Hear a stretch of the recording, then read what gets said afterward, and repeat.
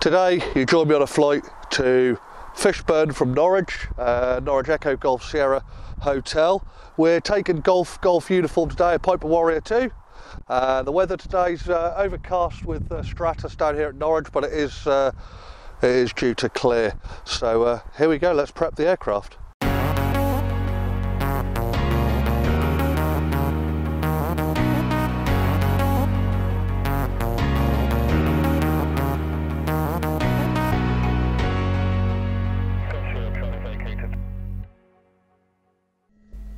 Now I'm quite excited about this flight to Fishburn Sea family. So first let's get the prop started, pick up the ATIS and get our taxi clearance. Okay, clear prop.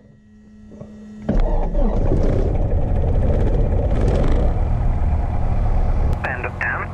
Transition level, flight level 55, surface wind 220, 7 knots, visibility 10 kilometer or more, broken 2,200 feet, temperature plus 8, dew point plus 5, QNH 1032. Norwich information, acknowledge receipt of information, uniform. Norwich Tower, Golf, Echo, Echo, Golf, Uniform at fuel. Uh, for VFR flight to Fishburn in the northeast, uh, request taxi to the active. We have uniform. Golf Echo Echo Golf Uniform Launch, uh, good morning. Uniforms current QNH 1032. Uh, taxi via Echo Delta and Alpha, hold Alpha 2, runway 27. Uh, taxi via Echo Delta and Alpha, hold Alpha 2 for 27. Golf, Golf, Uniform. Now Norwich is a medium-sized regional and international airport. When runway 27 is the active, the taxi from the GA parking and fueling areas to the Alpha 2 hold is quite lengthy. The route takes us along taxiway Delta past the terminal and up to taxiway Alpha and turning right towards Alpha 2. We will conduct our pre-takeoff power checks at the Alpha 2 hold. Which is just over now, being all above 1,000 feet the traffic looking 25. And it's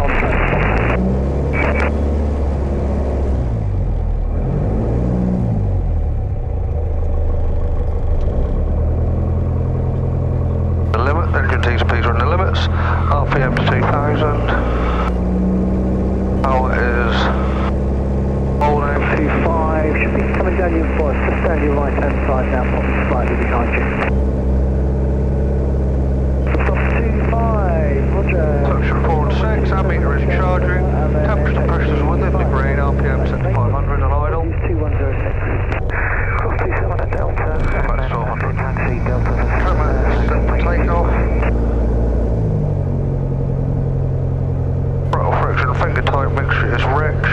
Magnetos are both on. Pitot heat as required. We'll put pitot heat on today. Primer is in and locked.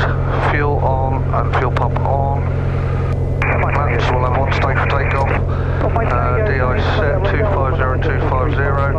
Hatches harness up secure. Hatches secure. Yes, yes, yes. Latched. Carburetor heat is set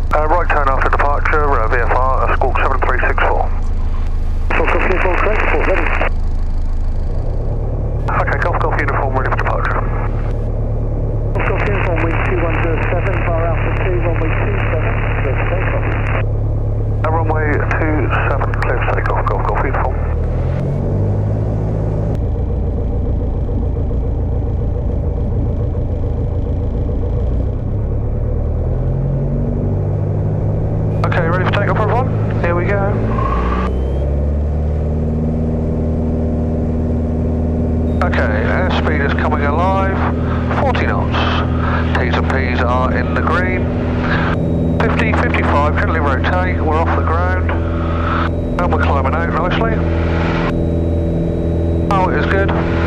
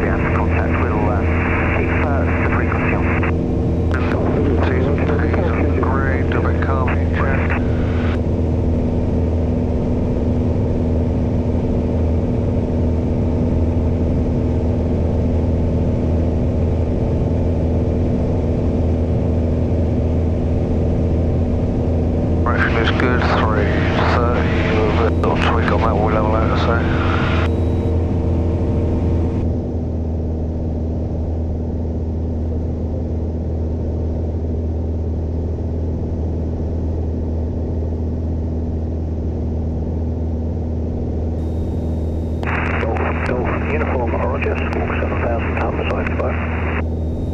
Squawk 7000 from Harborside, many thanks for the service. Golf Golf Uniform. So we've now crossed the Wash into Lincolnshire, and before Norwich loses off the radar, let's switch over now to Humberside. Humberside radar, Golf, Echo, Echo, Golf Uniform, uh, request basic service.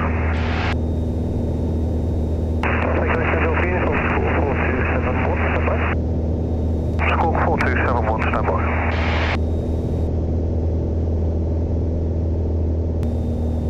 Golf Echo, Golf Uniform, Baltic Special 1022, passing Uh, Golf, Echo, Echo, Golf Uniform is PA28.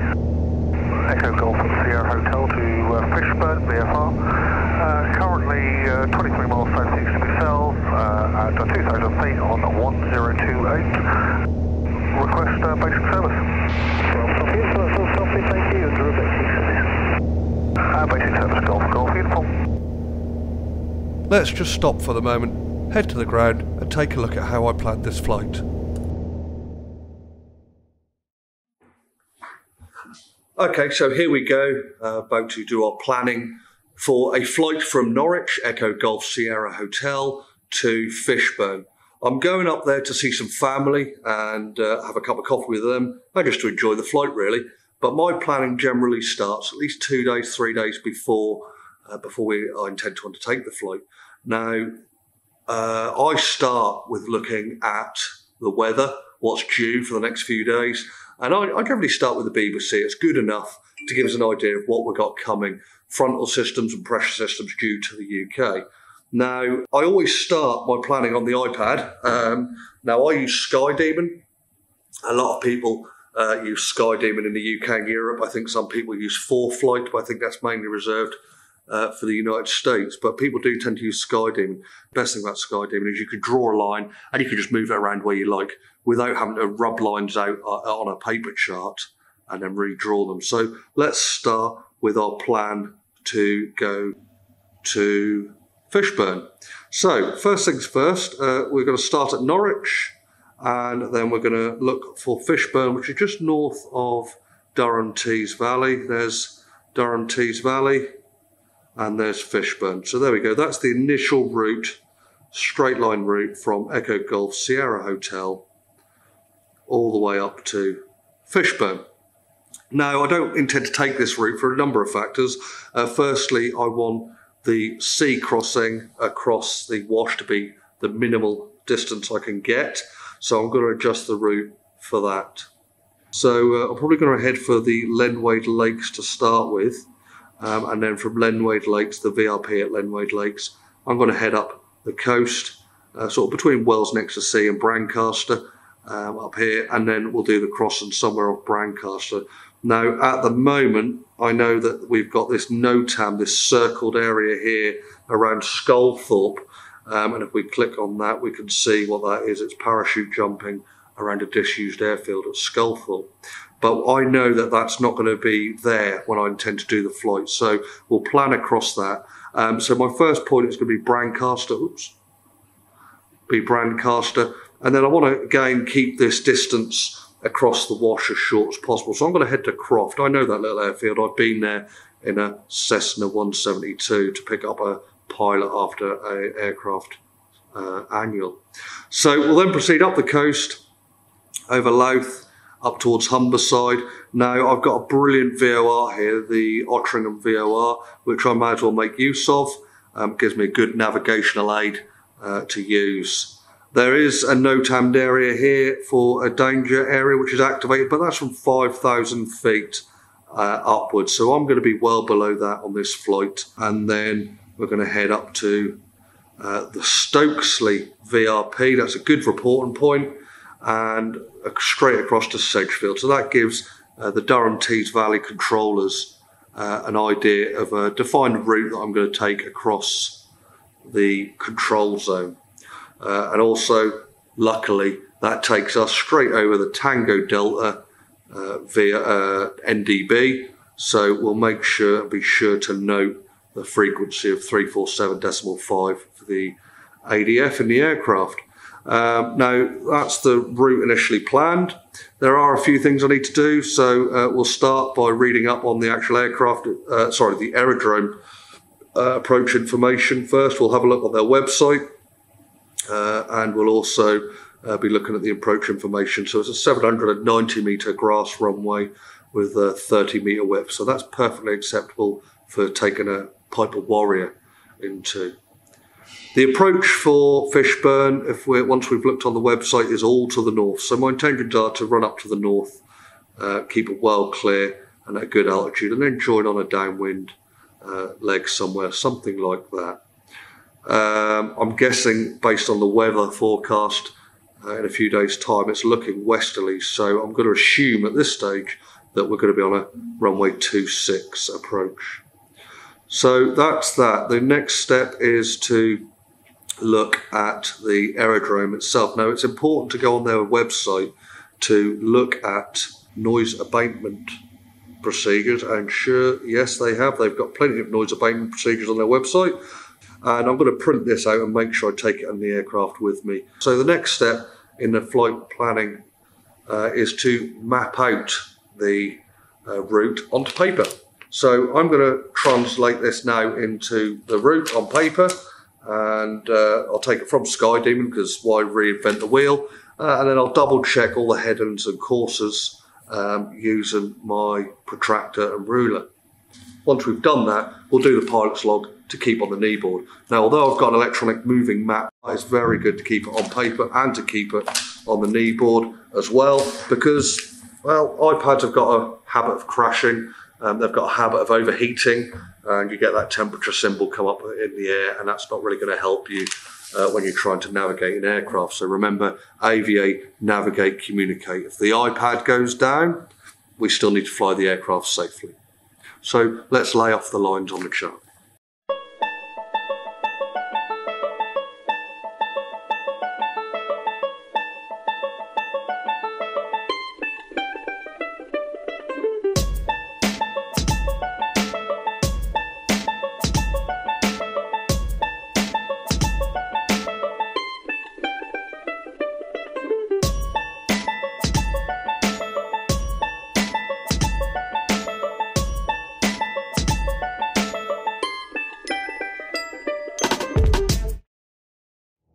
So, after completion of my flight planning and on this morning before takeoff, I checked the notices to airmen, the NOTAMs, and of course the forecast weather on the Met Office F214 and F215 forms. You join me back in the air as we cruise over the River Humber on a basic service from Humberside Airport. Shortly we'll be changing to Durham Tees Valley radar and asking for a zone transit. Uh, here we fly over Grimsby.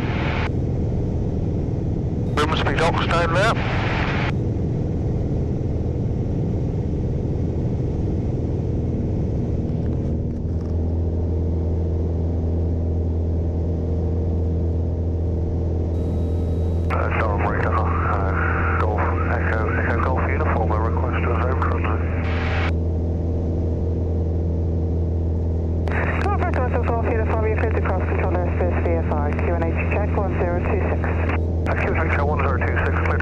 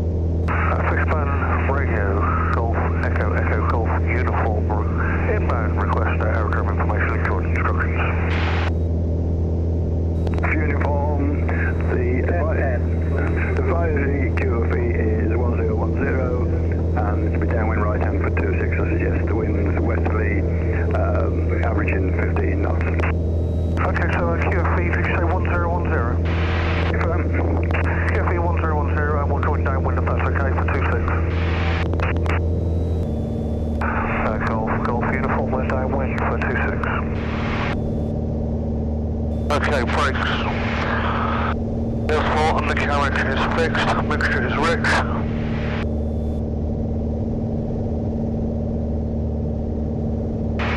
fuel pump is on, flap are cracked, I've got uh, 08, so 08, 074.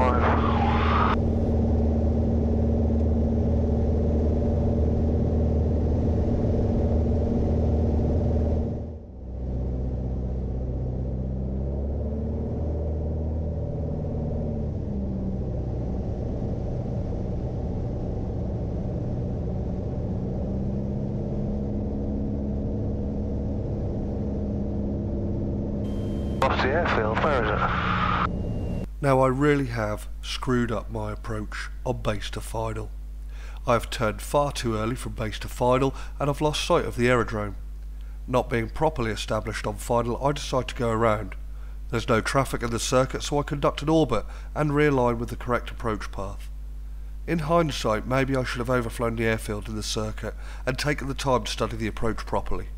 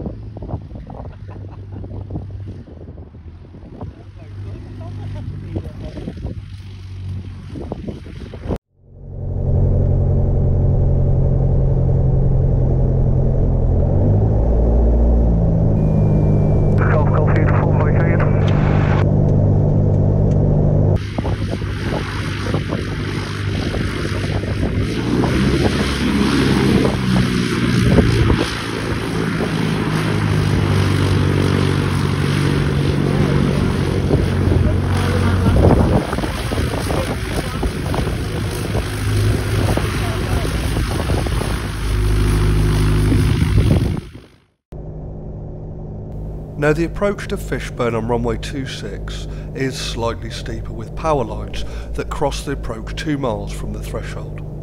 I read reviews about the upslope of the runway on 26 being of concern, but it really isn't anything to worry about. The runway is a sloping up runway to the west, but it isn't any trouble. Looking back on my landing though, I would probably carry a touch more speed into the flare to make a softer landing next time. Fishburn Aerodrome is a little gem in the northeast and definitely worth a fly-in visit. The people there are fantastic and are very, very friendly. The Aviator Bistro on site is excellent and the food and service from Kate and her team is second to none and this is worth a visit even if you are local in the area rather than flying in.